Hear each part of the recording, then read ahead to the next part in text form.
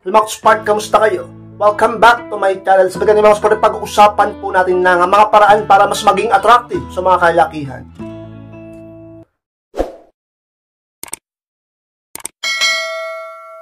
At kung handa na kayong lari, masarap po tayo. At muli, be Spark!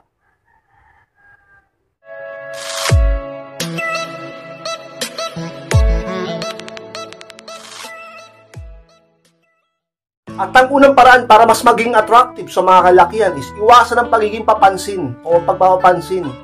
O mas iwasan nyo yan, yung magiging papansin kayo sa mga lalaki. Alam nyo mga kids part, alam na mga lalaki yan kung kayo ay nagpapansin o hindi. Maniwala man kayo sa hindi, big turn off yan sa mga kalakihan yung babaeng papansin. Diba? Ayaw namin yan kahit maganda ka pa masyado. O sabi sexy ka pa. Pag nasobrahan ka sa pagpapansin mo, eh medyo hindi na yung gusto ng mga lalaki. Ang gusto ng lalaki, yung sabi natin may pagka-mysterious. Yung sabihin natin uh, hindi papansin, yung kung talagang ano, yung organic, yung parang hahabulin ka talaga. Diba? Dahil di, hindi dahil sa nagpapansin ka, kundi dahil sa kapansin-pansin ka talaga. Magkaiba yun eh, yung papansin sa, saka yung kapansin-pansin. Diba?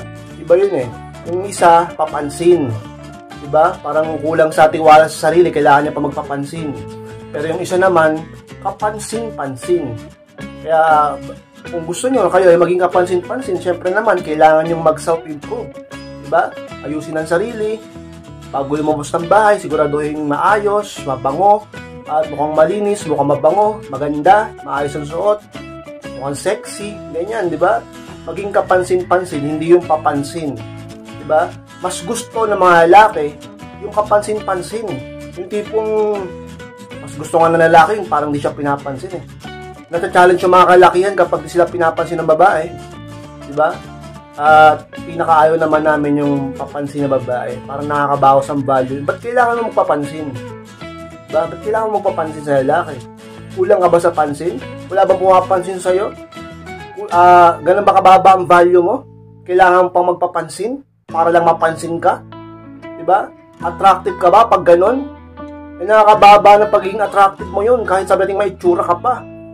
Pero kung unahin mo na lang sarili mo ka-inspired, magpaganda ka palagi, magpa-sexy ka, ayusin mo yung outfit mo, ayusin mo yung amoy mo, lahat sa'yo, buhok mo, pati ugali mo at pagkilos mo, panalita mo at pakikisama mo, lahat sa'yo, ay talaga naman ka-inspired, magiging kapansin-pansin ka, magiging attractive ka, kakit-akit ka, at ang mga lalaki, ay talaga namang kusang naghahabol sa iyo. Kusang mag, sila ang magpapapansin sa iyo. Sila ang magpapapansin sa iyo, mga lalaki. Diba? Isa sa mga talaga namang dapat mong tandaan. At sa mga paraan upang mas maging attractive ka sa mga kalakihan ka inspired. Iwasan mo ang maging papansin sa kanila. At ang pangalawang paraan mga inspired para mas maging attractive sa mga kalakihan is maging mapagpasalamat. din ang pangalawa inspired ba? Maging thankful, maging grateful, di ba? Maging mapagpasalamat ka. Alam nyo, sa pinakagusto ng mga tao, lalo na mga lakihan, yung mga babae na mapagpasalamat. Marunong tumanaw ng utang na loob at marunong mag-appreciate o magpahalaga. Diba? Hindi yung walang pakialam, iwan ano lang, parang parang wala lang. Hindi nila nakikita yung ginawang effort. Parang wala man lang kapuso-puso, wala man lang damdamin, wala man lang konsensya, wala man lang concern, wala, na, wala man lang uh, sabihin nating pagbawi kahit kahit pasalamat man magpasalamat man lang, di ba? Wag ganoon ka inspired. Nakaka-turn off yung ganun. Sabihin nila, maganda ka pa naman sana. Sexy ka pa naman sana. Di, di ka naman ano, makapal naman mukha mo, di ka marunong magpasalamat. At parang wala kang puso, di mo na pansin, di mo na pahalagahan yung ginawa ng mga tao sa iyo di ba? Pero kahit sino ka pa, saan ka man naman nakaraan mo, maging sino ka man, ano man lang itsura mo ngayon, talaga naman kung ikaw ay personality mo yan, pagkatao mo yan, mapagpasalamat ka sa lahat ng ginagawa sa iyo. Marunong kang tumanaw ng utang loob, mapagpakumbaba ka. At kahit sa malilit na bagay, marunong ka magpahalaga. Sigurado kung meron at merong lalaking makakapansin sa iyo. Meron at merong lalaking magkakagusto sa iyo meron at merong lalaking magkakaroon ng interest at ma-attract sa'yo sa isa pinaka talaga naman ka-inspired sikreto ang personality mo. Talaga naman ka-inspired. maging mapagpasalamat ka sa lahat ng bagay, sa lahat ng pagkakataon at sa lahat ng sitwasyon. Mapapansin at makikita nila yan sa iyo dahilan kung bakit mas magiging attractive ka para sa kanila. At ang pangatlong paraan, Max Part, para mas maging attractive sa mga kalakihan is sikaping good vibes ka lang palagi. Yan ang pangatlong sikreto, Max Part, upang ikaw ay mas maging attractive para sa kanila. Siyempre naman, kung good vibes palagi ang dala, dala mo, gugustuhin nilang ikaw palagi ang kausap nila, kasama nila, at nakikita nila. Talaga namang magkakaroon sila ng kagustuhan sa isip at puso nila na makasama ka o makausap ka. Dahil good vibes ang dala mo. Diba? Talaga mo nakaka-turn on yun at nakaka-develop ng madedevelop sila sa iyo, di ba? Kahit sino ka pa. Minsan nga, di ba, pansinin niyo yung mga ibang babae, di mo sila ganun kaganda. Pero good vibes yung dala nila, mahilig sila magpatawa, funny sila, may sense of humor. Hindi sila ganun kaganda, aminin mo natin yung hindi. Yung iba, talagang hindi attractive. Diba?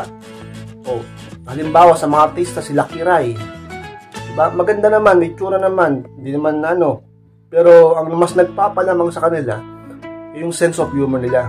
Nagpapatawa sila ng tao, diba? May mga boyfriend nila, ang gagwapo, diba? Ganun lang yan. Kasi maatrak at maatrak talaga ang tao pag nagdudulot ka ng good vibes o kaligayahan sa kanila. Sipin mo, daming problema ng mga tao.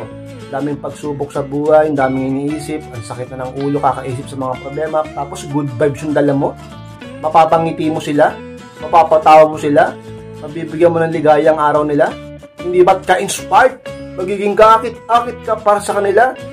At ma-attract mo sila na parang magnet. Talaga naman. Pero pag bad vibes ang dala mo, yung ikaw pa yung nagdudulot ng negative energy, ng pagka-inis sa kanila, pag lagi ka nakabusangot, lagi ka nakabunganga, nakabulyaw, lakas ng boses mo, at yung mga lumalabas na words o salita sa bibig mo ay mga negatibo, eh talaga naman lalayuan ka ng mga tao. Hindi ka magiging attractive. Ayawan ka nila talaga. Diba? Kaya kabaliktaran dapat. Good vibes lang. Kaya iwasan yung lagi nakasimangot, laging nakabunganga, laging kung, lumalabas bibig mo, laging negative. Tapos hindi mo man lang magawang umiti at di ka marunong makisama ng maganda sa kapwa mo, sa partner mo, hindi kayo maging masaya, wala kayong bonding dahil ganyan ang personality mo, huwag ganun maging good vibes lang, mas lalo ka nilang papahalagahan, mas gugustuhin nilang makasama ka, hahanap-hanapin ka nila, lagi ka nilang maiisip pa talaga naman ka inspired, mas magiging attractive ka para sa kanila. Since sa mga sikretong dapat mong tandaan ka inspired. At pang-apat na paraan maka-inspired sikreto upang mas maging attractive ka sa mga kalakihan is matutong makinig at umunawa sa kausap palagi. Yan ang isa sa mga paraan ka inspired upang ikaw ay mas maging attractive Base psychology at pag-aaral talaga naman, kapag ang isang tao ay marunong makinig at umunawa sa kausap niya, nagbibigay ito ng, ng uh, sabi nating parang interesado siya sa sinasabi ng kausap niya. Nagbibigay ng uh, interest doon at focus siya doon sa kausap niya. Eh, mas nagiging attractive siya doon sa kausap niya. Totoo yung ka-inspired. Kaysa naman yung may kausap ka, palingalinga ka, may kausap ka, kung ano-ano inisip mo, di ka nakatingin sa kausap mo, panay cellphone mo, panay text mo, panay chat mo. Tapos pa wait-wait ka pa, palis-alis ka. Maata ka ba sa'yo yun? Yung kausap mo? Mabubuisit sa'yo yun. At baka sa susunod, di niya na gustong kausapin ka. Di niya na gustong makita ka. Di hindi ka niya na gustong makasama pa. Dahil ganyan ka kausap. At bad vibes din yan. At nakakabastos din yan. Dapat ka-inspired kapag may kausap kayo, dapat focus kayo sa kanila. Eye to eye contact. Magpakita ka ng interest sa kinakwento. At sinasabi niya. Hindi nyo alam, madedevelop yan katagalan. Sa mga panahon, nag-iisa siya at gusto niya ng kasama, isa ka sa mga isip, may isip niya. At dahil iniisip-isip ka niya, hanapin ka niya, bagay na hindi niya alam na nag invest na pala siya sa sayo. Siya sa'yo. Diba? At talaga namang nakaka-attract yun. Attractive yun.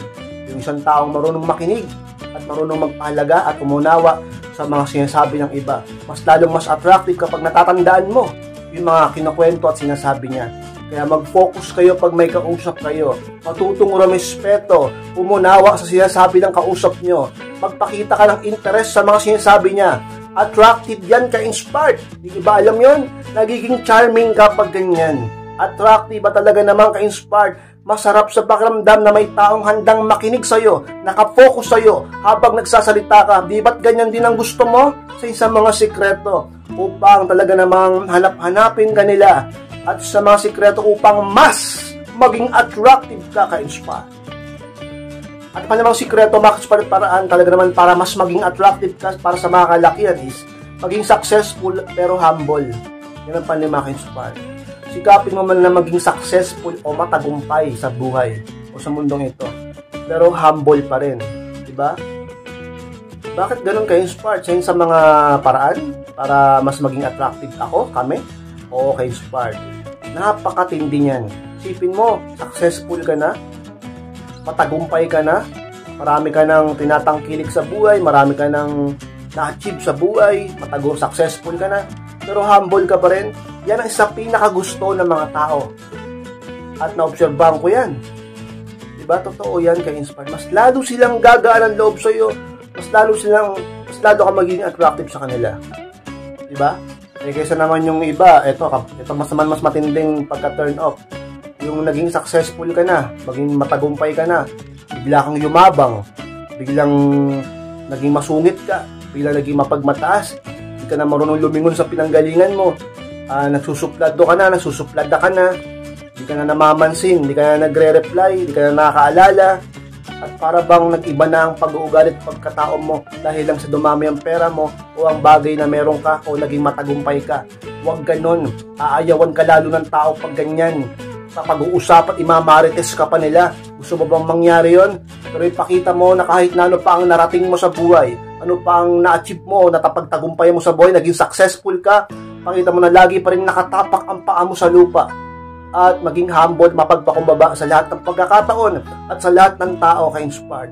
Huwag na huwag mong kakalimutan yung mga taong talagang tumulong sa iyo sa umpisa at marunong kang lumingon sa pinanggalingan mo. Bagay na totoo upang mas maging attractive ka sa mga mata nila. Gugustuhin nila yan at positibo palagi ang salita nila sa iyo.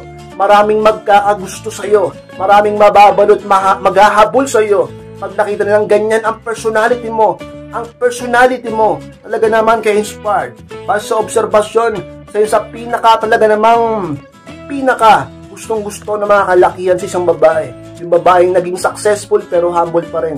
Dadami ang manliligaw mo kay inspired. At pang-ayon na paraan mga expert para mas maging attractive sa mga kalakihan is dagdagan ang lakas ng loob ng pang-ayon kay inspired paano ka magiging attractive o tunay na attractive at magiging mas attractive kung mahina ang loob mo. Unattractive yan. Nakaka-turn off yan yung mga babae at tao na mahina ang loob, kulang sa lakas ng loob, sa buhay, sa pagkatao niya. Huwag kayong ganyan. Dapat maging kumpiyansa, maging confident. Diba? Maging matapang, dagdagan ng lakas ng loob sa anumang bagay, sa anumang laban, sa anumang pagsubok, at sa anumang sitwasyon makikita nila yan, masisense nila yan, mararamdaman nila yan sa'yo na ganyan ka. Pag nakita nila na malakas ang loob mo, talaga naman tataas ang respeto nila sa'yo. Yung mga leader, yung mga nangung, yung mga pinuno, di ba't malakas ang loob nila? Nare-respeto sila at kaakit-akit sila sa mga mata ng mga tao sa paligid nila. Maging ganun ka. Huwag ka maging mukhang kawawa. Huwag ka maging mukhang mahina para hindi ka nila abusuhin at talaga namang para respetuhin ka nila bagay na totoo, kayong inspire sa psychology, pag nakita lang malakas ang loob mo, kayong manguna, kaya mong sabihin nating maging leader, kaya mong uh, sabihin nating magpakita ng katapangan sa harap ng maraming tao at mahirap na sitwasyon, ay attractive yan ka-inspired sa mga mata nila. Maraming magkakagusto sa iyo at maraming magkakaroon ng interest sa iyo. Pag nangyari yan, sigurado maraming magpapapansin sa iyo. Kung gusto mong mangyari yan, kung duwag ka ngayon, mahina ang loob mo ngayon, Di mo maabot yung mga pangarap mo dahil mahinang loob mo. Di mo magawang magsalita sa harap ng maraming tao dahil natatakot, nahihiya ka. Di mo magawang sabihin natin kay inspired na ipaglaban ang relasyon nyo dahil nagdadalawang isip ka. Eh, dagdagan mo lagi yung lakas ng loob mo. At kung gusto mo na tunay na mangyari yan, lumapit ka sa Panginoong Diyos. Dahil ang Panginoon ang nagbibigay ng lakas ng loob sa lahat ng tao. Huwag kayong makakalimot sa itaas dahil siya magbibigay sa inyo ng inspirasyon at motibasyon upang magkaroon kayo ng katapangan. Sa inyo sa mga sikreto, tips ko sa inyo, paraan upang mas maging attractive ka sa lahat ng tao, lalong-lalo na sa mga kalalakihan ka inspired. Dagdagan mo ang lakas ng loob mo sa lahat ng panahon. So kaspil lang po na maraming salamat po mga kaspart sa pagtapos po ng vlog dito. Tapos hindi pong kalimutan na mag-like, comment, share na rin po upang makatulong din tayo sa iba. Sa mga hindi pa po nakasubscribe, ay subscribe po mga kaspart at clickin na rin po notification bell upang maging update kayo pag may bago akong upload. So mga gusto magpa-coaching, magpa-advise, pakimess lang po sa aking Facebook. Ayun po yung profile ko, pakichat ako at ako mismo magre-reply sa inyo. Maraming maraming salamat makisupport. Mag-ingat po kayong lahat. Mahal ko po kayo. At muli, be inspired!